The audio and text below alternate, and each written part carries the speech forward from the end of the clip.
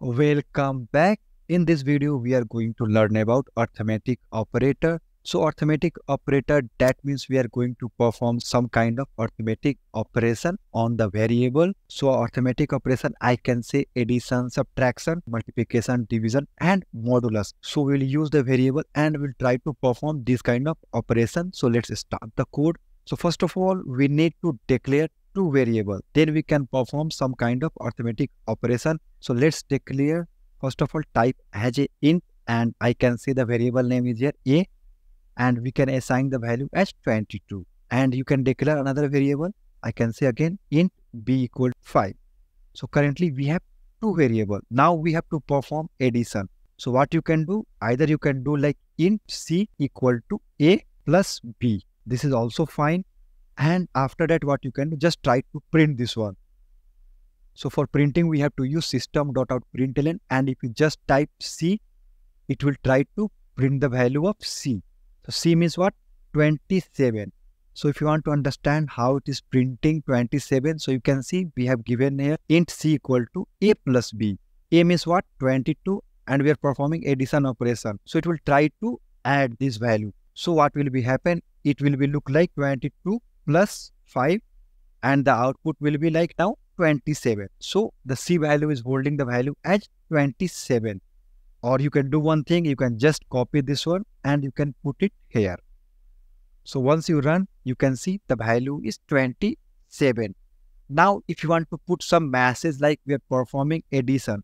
So addition we are going to use a string. So whenever you want to use a string just use double quotes and you can add your message so i can say here addition and you can put the colon space but after that, you can see it is showing a red color. Red color means like it is wrong. So you cannot do like this one. You can see right syntax error.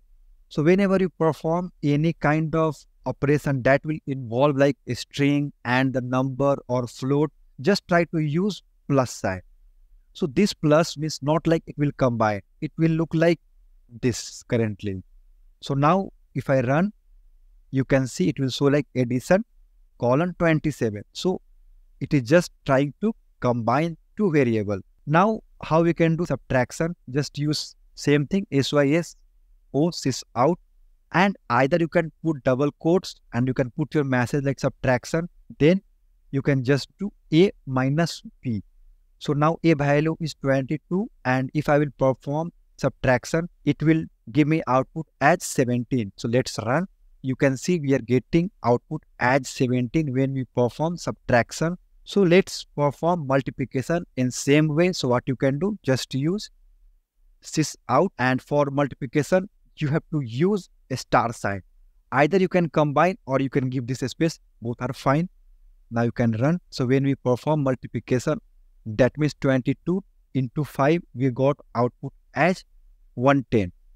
So again, you can copy this one. Now we can perform division. When we perform division, what will be happen? we are going to divide 22 by 5. So we'll get output as 4 because it will just try to print the quotient value. Now in the modulus, how you can do? Just you can copy this line, you can come down and you can change this symbol as modulus. That means percentage. Now if you run, you will get output as 2. That means it will just print the remainder value. So please understand whenever you use division, it will try to print the quotient value and whenever you perform modulus, it will try to print the remainder value. So these are the generally arithmetic operation. I hope you got some idea.